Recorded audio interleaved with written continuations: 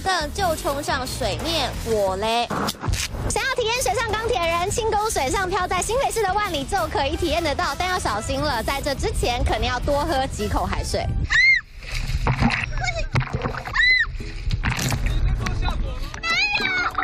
好不容易终于飞起来，结果一二三，撑不过五秒钟，一个重心不稳，正面朝下！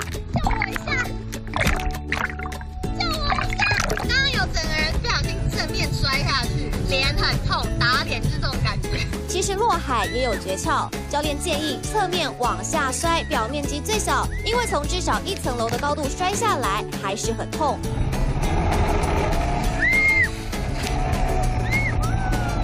要冲上天考验平衡感，就像学骑脚踏车，多摔几次就会了。如果还是跟不起来，还有最后一招。通常呢，如果你是初学者，或是你飞了好几次都飞不起来，没有关系，教练带你飞。那么依照这个，如果双人的话，大家可以飞到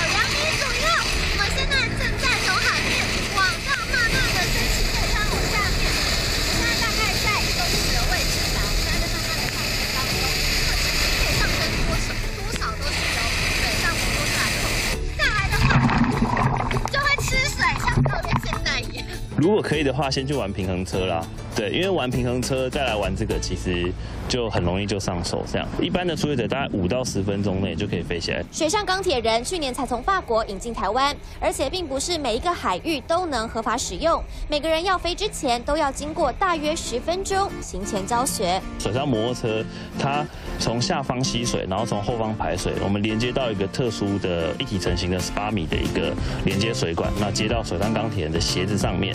那当水上摩托车发动的时候，它有动力。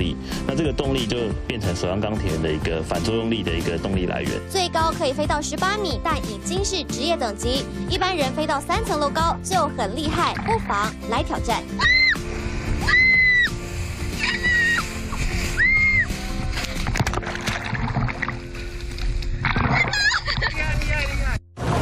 到万里玩玩水，当然要吃万里蟹，现捞现做最新鲜。如果想要来一点清爽的，有业者推出了这一道开胃的泰式酸辣蟹。但是如果想要来一点特别的，还有这一道用油炸的起司万里蟹，酸中带甜，香辣有劲，配上鲜甜蟹肉。外壳金黄酥脆，蟹肉依然鲜嫩多汁，还有起司香。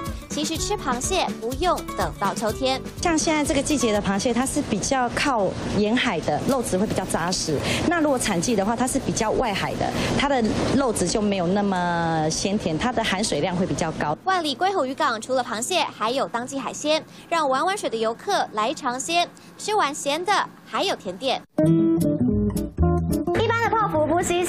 有看过这种巨无霸大泡芙吗？几乎就要跟我的脸一样大了，外表的尺寸相当的惊人，但是内馅的用料一点也不马虎。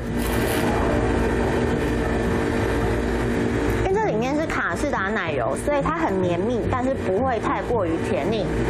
因为它拿出来的时候都会放在冰箱里头，所以它其实里面的奶油口感有一点像冰淇淋去包在饼皮里面。饼皮呢，因为它非常的厚扎实，它很像我们吃酥皮浓汤上面那个酥皮，它是一层一层的，它不像是一般泡芙，它那个饼皮。它可能放久了它就会糯皮这样子，这个不会，它就是一直处于很酥脆的一个口感。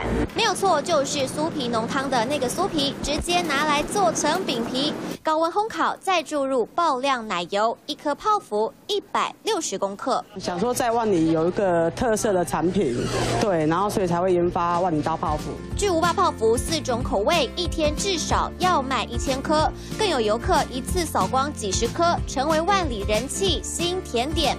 创意特色美食，刺激水上活动，让万里小镇的夏天颠覆您的想象。三立新闻曾建勋、庄慧琪，新北市采访报道。